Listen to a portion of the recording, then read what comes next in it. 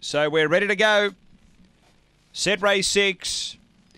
Away. Pace in the middle, burst of hope. It's out quickly. It's going to drive through look for the front. Deputy Speaker tries to go with it and does go with it early. Behind those next is Victor Matters. Deputy Speaker takes a slender lead to the back.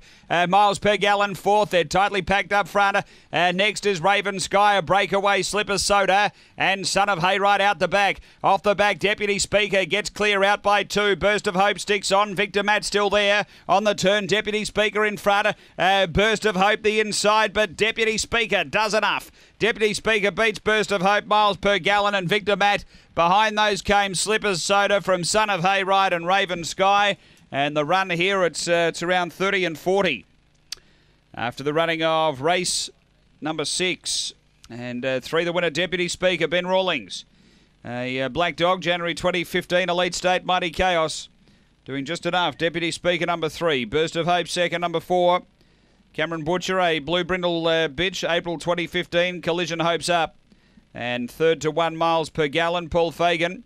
A dark brindle uh, dog, June 2015. Glenn Gallon, Alinga AJ. 3418 after uh, race six here at Angle Park.